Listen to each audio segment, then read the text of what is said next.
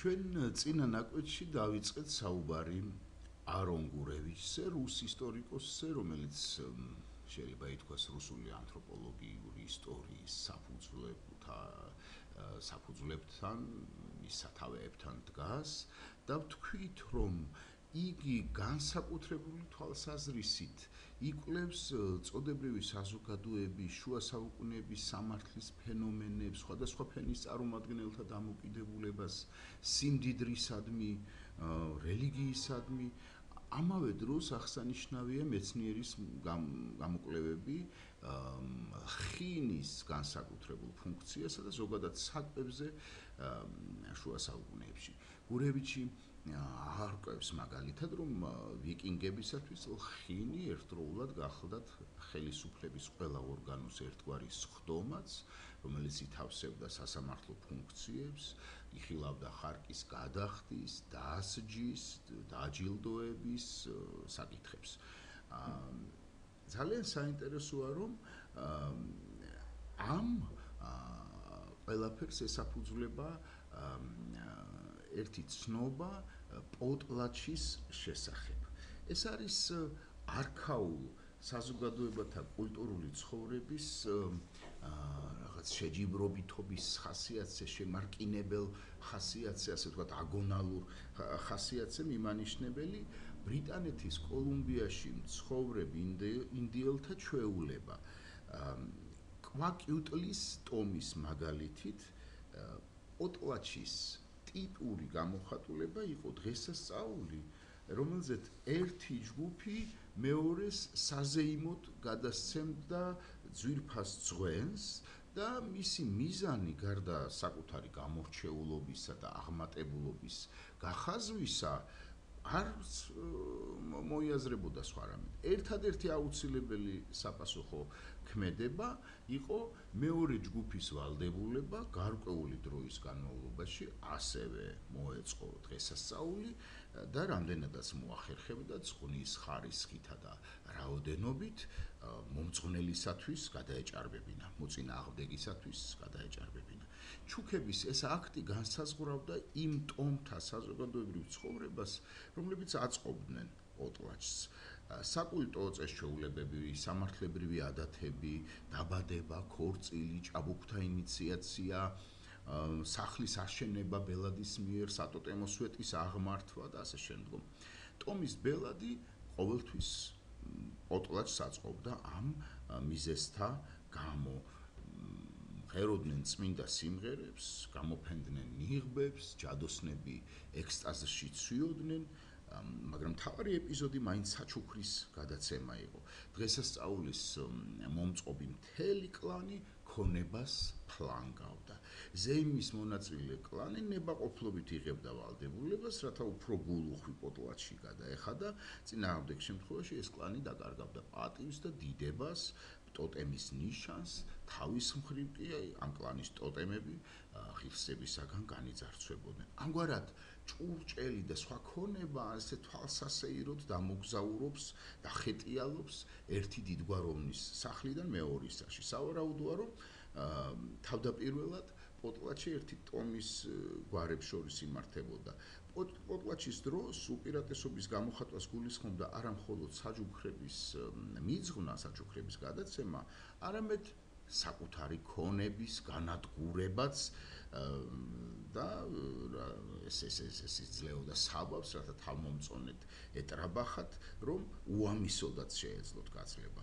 ამასაც ძდებდა დრამატული რიტუალი, რომელიც მოწინააღმდეგის ამ პარტამულ, ასე ვთქვათ, გამოწვევას გულისხმობდა. ყოველივე ეს აგონალურად შეჯიბრებითობის ფორმით წარიმართებოდა თუ ბელადი ამ სხროს ვთქვათ ბრინჯაოს ქოთანს წავს საბნების დასტას ნაფოტებად აქცევს კანოეს მოწინააღმდეგეც მოვალია განადგუროს სულ ცოტა მათი სწორფერი ნივთები მაინც. ნუ ანაფოტებსა და ნამსხვრევებს მოწინააღმდეგეს გაუგზავნიან ან გამოფენენ თქვა საკუთარი ხირსების აღსანიშნავად ტლინკით და ტომის ბელაც მეორის ჯიბრზე თავისი ტომის რამდენიმე მონაც კი დაუხოცავს, რაც მოწინააღმდეგეს უფრო მეტის მოკლას ავალებდა.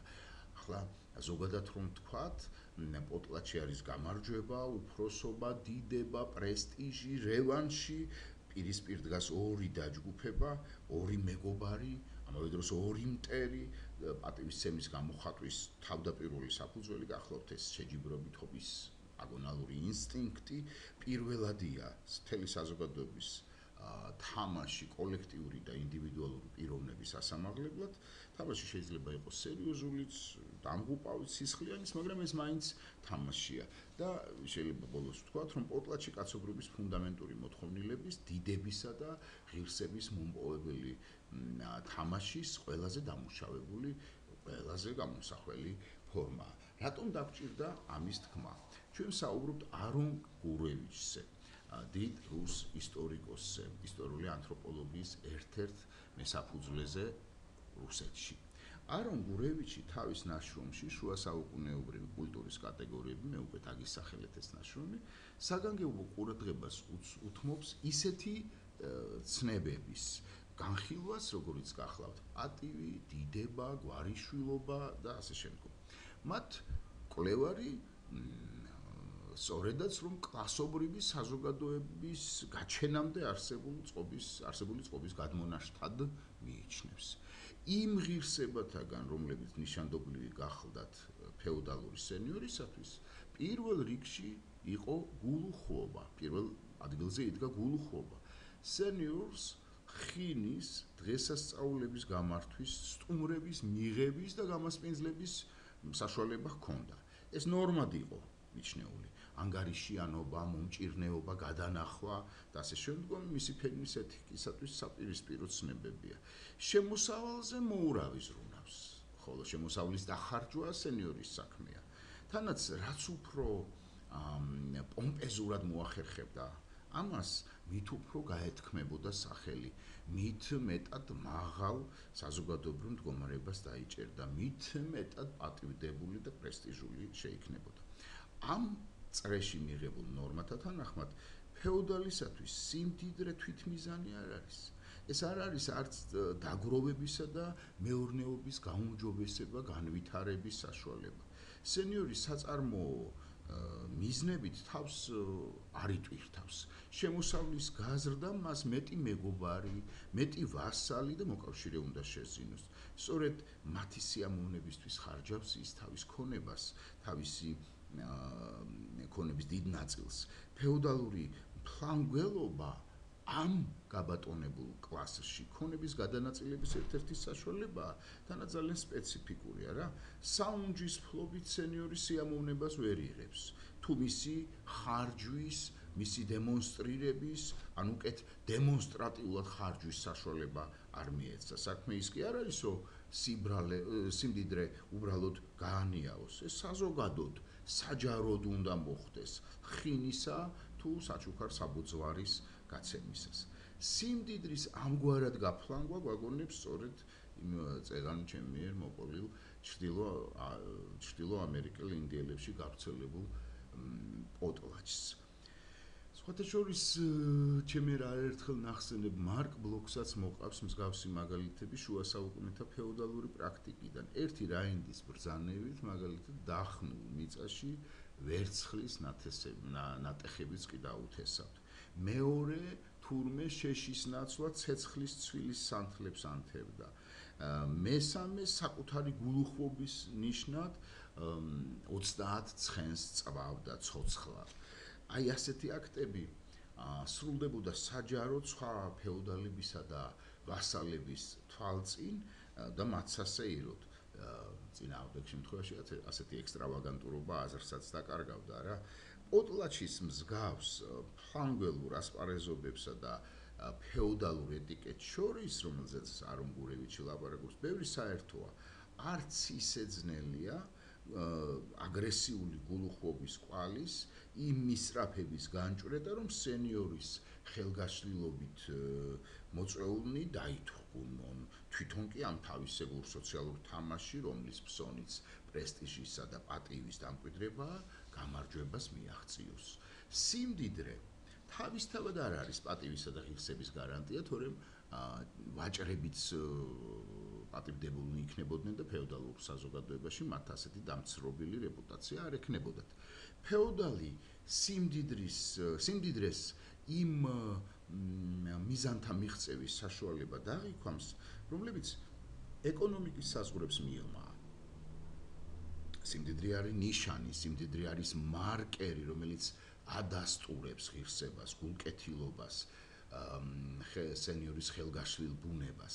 ეს ნიშანი ზემოთ ჩამოთვლილ თავისებურებათა დემონსტრირებით რეალიზდება. ამგვარად, სიმდიდრით ნეტარების უზენაესი წერტილი ხალხის მაქსიმალურად დიდი რაოდენობის წინაშე მისი გაფლანგვაა. მოწვეულებმა მონაწილეობა უნდა მიიღონ ამ საბოძვარის თანთქმაში. მათ წილი უდებთ ამ ქონებაში. ყველა სოციალური ნიშნულობის მქონე ნიშნის რეალიზაცია რიტუალსა და დაწესებულ ნორმებს ემორჩილება. წვეულებები, დღესასწაულები, სასახლის კარის შეკრებები, ტურნირები, ცერემონიები დადგენილ ვადებში მიმდინარეობს. საჭირო დეკორუმს, ასე ვთქვათ, ერთვის რაინდის ცხოვრება გულისხმობს ან ბრძოლას, ან სენიორის კარზე ყოფნას და გართობას, ასე ვთქვათ, ამ რიტუალიზებული ყოფის ილუსტრაციად გამოდგება ვთქვათ ტრუბადორული პოეზია. პოეტები უწინარესად ხადაგებენ ხელგაშლილობას, ხელგაშლილობის იდეას განადიდებენ.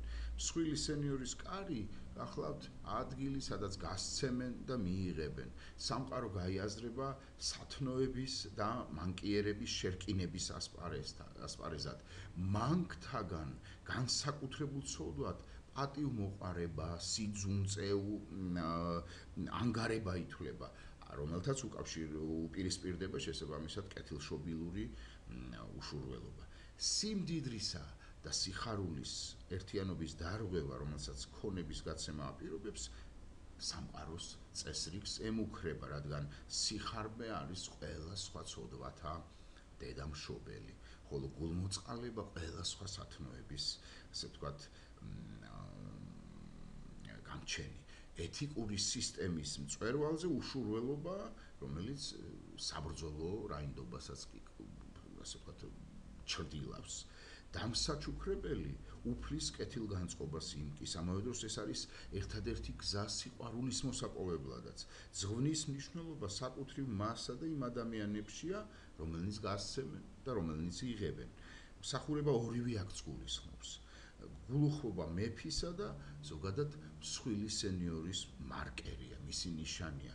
მეფემ უნდა გასცეს ცხენები, ოქრო, ტანსაცმელი, მიწები, ამ შემთხვევაში ხელმწიფე არაფერს დაკარგავს, ხოლო დღა შეიძენს რაღაცნაირად ჩვენს გვახსენებს რუსთველის რასაც გასცემ შენია, რაც არა დაკარგულიას.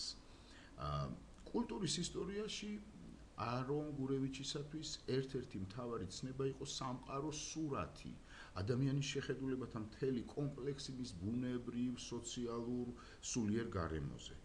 ეს შეხედულებანი ყველაზე არსებით პუნქტებში საერთოა ნებისმიერი ისტორიული ქრონოტოპოსისათვის, ანუ მოცემული დროი, მოცემული ადგილი, მოცემულ დროში, როგორც ბახტინი იტყოდა, ყოფი ადამიანებისათვის და სწორედ ეს სამყაროს სურათი განსაზღვრავს ადამიანთა ქცევას. რუსეთის ისტორიკოსთა კორპორაციის ანალთა სკოლასა და ისტორიულ ანთროპოლოგიის კონცეფციასთან დაახლოება სწორედ არუნგურევიჩის დამსახურება. რუსულ ისტორიულ მეცნიერებაში ახალი მიმართულების მიზნად მიაჩნდა გურევიჩ სამყაროს სურათთა შექმნა, რომლებიც ნიშანდებული იყო სხვადასხვა ეპოქების, სხვადასხვა კულტურების ტრადიციებისათვის, ადამიანთა და ადამიანური ინდივიდის სოციალური ქცევის შესწავლა სოციუმის ფარგლებში, царსულის ადამიანთა ქცევის მოდელთა სიმრავლე და ნებისმიერი დონის, ნებისმიერი მსჯელობის სუბიექტურობა, მათ შორის წერილობითი მსჯელობისა, რომელიც შემდეგ როგორც ვიცით ისტორიულ წყაროდ იქცევა ხოლმე. სწორედ ამიტომ გურევი შესაძლებლად შესაძლებლად არ მიაჩნდა ამა თუ იმ ისტორიული სიმართლისა თუ საერთოდ ობიექტური ისტორიის არსებობა. ისტორიული წყაროები ადამიანის მიერ იქმნება ადამიანები კი როგორც მე და თქვენ ვიცით არასრულყოფილები ვართ უსრულნი ვართ. ყველაფერი არ არ გვახსოვს. ყველაფერი არ ვიცით, ყველაფერს ზუსტად ვერ აღვიდგენთ, განზრახთუნებლიეთ ვტყუით და ამის თქმა კი ზუსტად შეიძლება რომ არასოდეს ვართ ობიექტურები. გურევიჩს ისტორიული ანთროპოლოგია შეიძლება ითქვას უფრო ფართოდაც კი ესმოდა ვიდრე მის დამფუძნებელთ, იმიტომ რომ ის მას მიიჩნევდა მთელი ჰუმანიტარული ცოდნის განახლებად. ამის დადასტურება მისი ცნობილი წიგნი ისტორიული სინთეზი და ანალთა სკოლა, რომელშიც გამოთქვა აზრი მენტალობის ისტორიის ისტორიულ ანთროპოლოგიაში გადაზრდის თაობაზე, როცა თავარი მიზანი კლავად სამყაროს სურათთა რეკონსტრუირებაა.